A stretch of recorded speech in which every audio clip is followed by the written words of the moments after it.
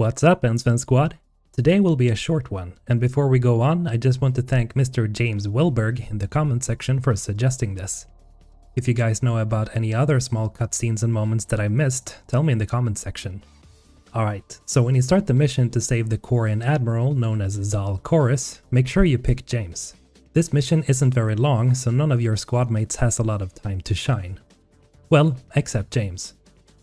Here's one piece of banter from James. Jamming towers, anti-aircraft guns, rockets? Geth must have been building up an army for a while. They've had three centuries alone down here. And I guess we're lucky they're not all wearing nukes for backpacks. But let's check out the real reason why we chose James for this mission.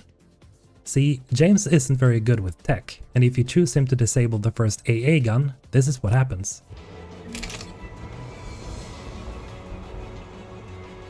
One of us needs to take those AA guns offline. James, get on it. Uh, tech's not my specialty, but I'll pull a few wires, see what comes out.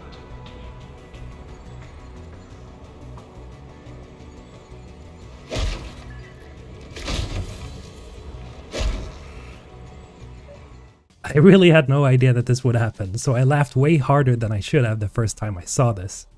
And that's basically it. Again, remember to comment any other rare scenes that you know about, because this was straight up hilarious. And as always, have a great day, Ensven Squad. Mr. Hulthen, out.